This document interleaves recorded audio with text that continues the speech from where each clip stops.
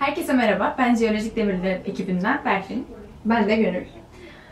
ODTÜ Biyoloji ve Genetik Topluluğu olarak bu yıl 16.sını düzenlediğimiz Aykut Genci Evrim Konferansı'nda biz evrim kuramını bilim ışığında yaygınlaştırmayı ve herkese erişilebilir kılmayı amaçlıyoruz.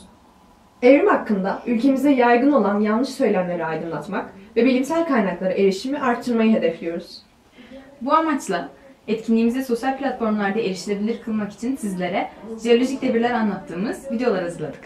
Bu videoda prekambriyen dönemleri anlattık. İyi seyirler dileriz. Günümüzden 4.6 milyar yıl öncesinde gerçekleşen Hadern dönemine dünyanın cehenneme andıran koşulları sebebiyle yeraltı ve ölüm tanrısı olan Hades'ten gelen bir isim verilmiştir. Dünyayı oluşturan gaz ve toz parçalarının güneş etrafında döndüğü bu dönemde birikim diski adını verdiğimiz bu toz parçaları önce kaya ve taşları, ardından dev kaya kütlelerini ve en sonunda kaynaşarak dünyayı oluşturmuşlardır. Karbon bazlı organik yaşam formlarından bahsedemediğimiz bu jeolojik devirde dünya, kısmen erimiş yüzeyiyle, karalar olmadan volkanizma ve asteroidlerin etkisiyle çevrelenmişti.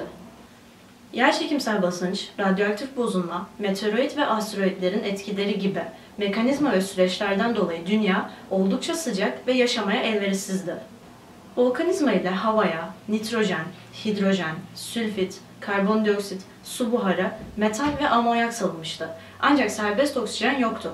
Oksijen olmadığı için ozon tabakası oluşamıyordu. Bu da dünyanın yüksek radyasyona maruz kalmasına sebep oluyordu.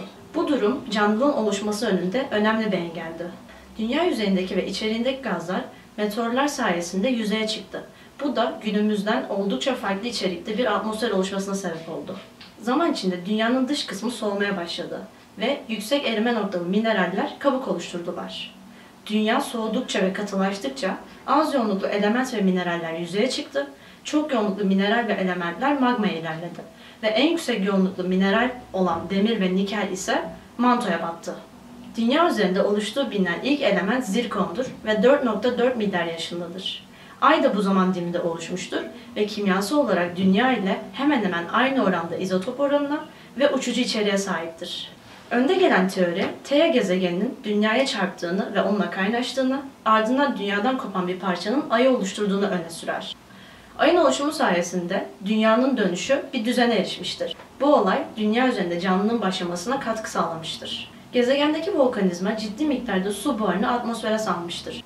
Bunun yanında buz ve tozdan oluşan kuyruklu yıldızlar ve meteor yağmurlarıyla gelen meteorlar da dünyadaki sıvı suyun önemli bir kaynağıdır. Dünyanın suyu izotopik olarak meteorlarda bulunan suyla kuyruklu yıldızlardakinden çok daha iyi eşleşir. Bununla birlikte 4 milyar yıllık dünya süreçlerinin sudaki izotopu değiştirip değiştiremeyeceğini bilmek zor. Her üç kaynağında dünyadaki suya katkıda bulunması mümkün.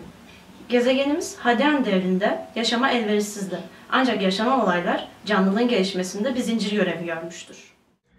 Arkean dönemi günümüzden 4 milyar yıl önce başlayıp 2,5 milyar yıl önce biten devirdir. İsmini Yunanca'daki Arke isminden alır.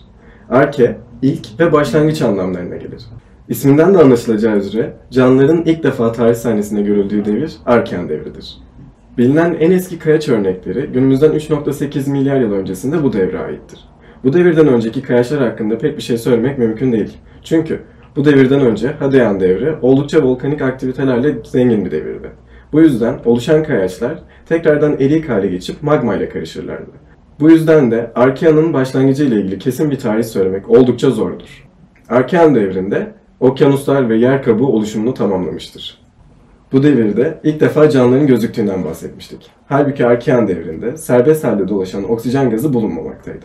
Bu açıdan baktığımızda oldukça garip gözükse de bu ilk canlılar oksijene ihtiyaç duymuyorlardı. Siyanobakteriler dediğimiz bu canlılar yaşamlarını fotosentezle devam ettirdiler. Hatta öyle ki onlardan sonra oksijene ihtiyaç duyacak canlıların evrimleşmesinde en büyük kilit taşı bu canlılara aittir. Siyanobakteriler gibi canlılar fotosentez yoluyla ortamdaki inorganik maddeleri, sülfür gibi, ışık enerjisiyle birlikte oksijen ve organik maddeye dönüştürmeye başladılar. Bu sayede siyanobakteriler önce okyanuslardaki, sonra da atmosferdeki serbest oksijen gazı miktarını arttırdılar ve onlardan sonra buna ihtiyaç duyacak olan canlılar için önemli bir role sahip oldular. Bu canlılara ait ilk kalıntılar 3,5 milyar yıl öncesinde Avustralya'da bulunan stromatolitlerdir. Stromatolitler Siyanobakterilerin öldükten sonra tortulaşması ve çökmesi ve birikmesi sonucunda oluşan kayaçlardır. Ancak elimizdeki diğer kanıtlar ise mikroskobik filamentler. Bu canlılar günümüzden 4.3 ve 3.8 milyar yıl öncesinde Kanada'nın Quebec şehrindeki hidrotermal bacalarda bulunan canlılardır. Ancak mikroskobik filamentler fosil kalıntısı bırakmadıkları için bu canlılar hakkında kesin bilgilere sahip olmamız mümkün değil. O yüzden elimizdeki en güçlü kanıtlar siyanobakterilere ait olan stromatolitlerdir. Canlılığın ilk ortaya çıkışına dair birkaç teori bulunmaktadır. Bunlardan ilki panspermia teorisidir. Panspermia teorisi, dünya dışındaki gök cisimlerinin dünyaya çarparak evrende bulunan canlılığı dünyaya getirdiğini öne sürer. Diğer bir teori ise abiyogenez teorisidir. Kısaca abiyogenez teorisi, kimyasal evrimin biyolojik evrime yol açtığını, yani canlıların cansızlardan evrimleştiğini öne sürer. Stanley Miller ve Harold Urey yaptıkları deneyde ilkel atmosferik koşulları oluşturmaya çalışmışlardır. Bu deney esnasında ilkel atmosferde bulunduklarını düşündüğü su, metan, amonyak, karbon monoksit ve hidrojen kullandılar. Deneyin sonucu ise oldukça şaşırtıcıydı. Çünkü amino oluşmuştu. Yani canlının yapısına katılan en önemli yapı taşlarından birisi.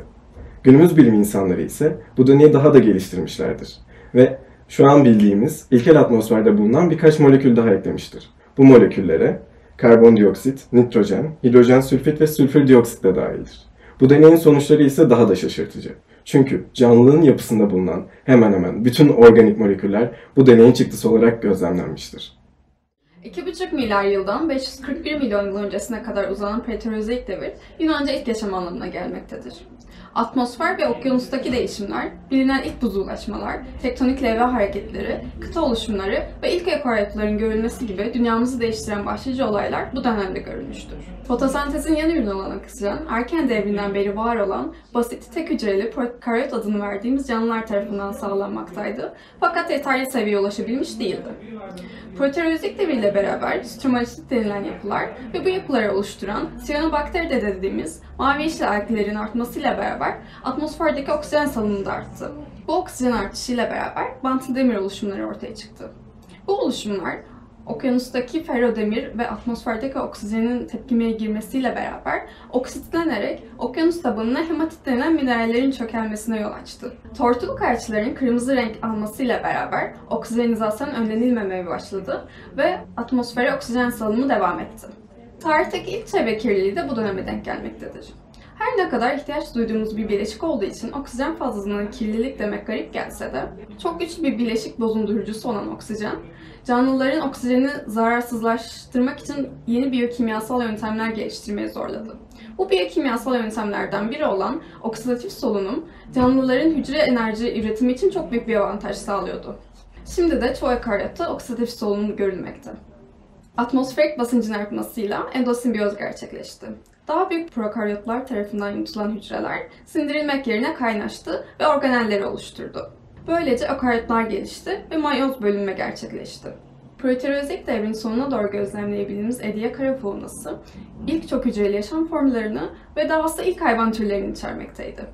Sadece resmi olarak 200 makroorganizma türü içeren Ediacara biyotasının birçok üyesi yumuşak doku ve gövdeye sahipti. Yüz konumdan fazla gözlemlenebilen makrofosiller hala soyu tükenmiş, evrimsel çıkmaz sokaklar veya modern biyolojik grupların ataları mı olduğu tartışılmakta. Değişen mineral ve okyanus kimyasına ek olarak dünyanın ikinci buzullaşması da metan gazı ve atmosferdeki oksijenin birleşerek sera gazı etkisi gösteren karbondioksit oluşturmasıyla bu dönemde görülmüştür.